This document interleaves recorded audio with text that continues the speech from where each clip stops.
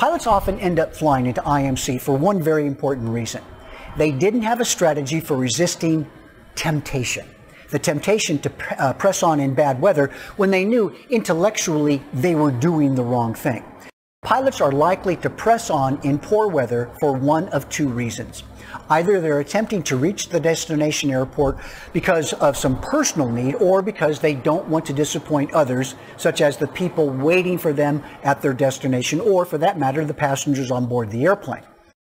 In order to avoid the temptation to reach a destination airport when the weather is poor, you have to desire something more than the goal you're trying to accomplish. And equally important, you have to keep that idea in the forefront of your mind during flight. For instance, when I'm on a cross country flight, I ask myself what I want more than to reach the destination airport. And the answer is, I want my wife to continue to have a husband. Asking this question helps you compare what you have to gain with what you are willing to risk to obtain it. And in the same way we prime an engine to help start it, we also need to prime the mind to help us understand what we value more than arriving at the airport under inclement weather conditions, if we arrive at all. Second, when I have passengers with me, I realize that I am much more vulnerable in terms of temptation. And we all like to please others, so it's easy for us to ignore our good instincts so as to prevent being outcasts from our group, and nobody wants that. So how do we deal with this? Well, the answer might surprise you. We get our passengers to share in the responsibility for the safety of the flight. So start by asking your passengers before the flight if there's any reason that any one of them would not be willing to turn back to the departure airport, land at an alternate airport, or delay the flight home if the weather became a problem. They'll most likely all say that this wouldn't be a problem at all. And the moment you do that, you've made them participants in the decision.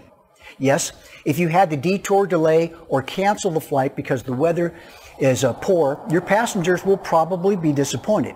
Nevertheless, you are more likely to resist the temptation to fly into poor weather because your passengers have agreed to support your decision to act wisely beforehand.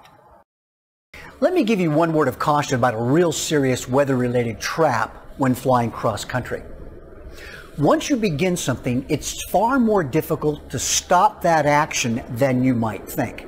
And this is known by salesmen as getting your foot in the door.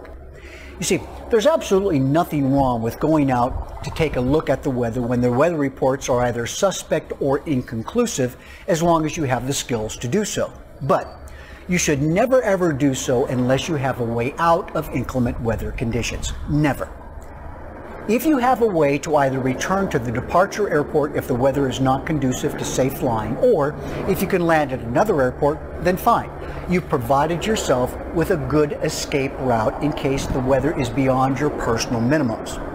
And this is precisely what wise pilots do.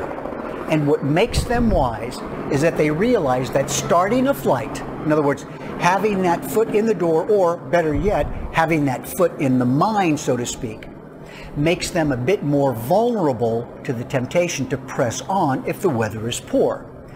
By strategizing beforehand to leave themselves with a good escape route, they minimize the temptation to press on in inclement weather.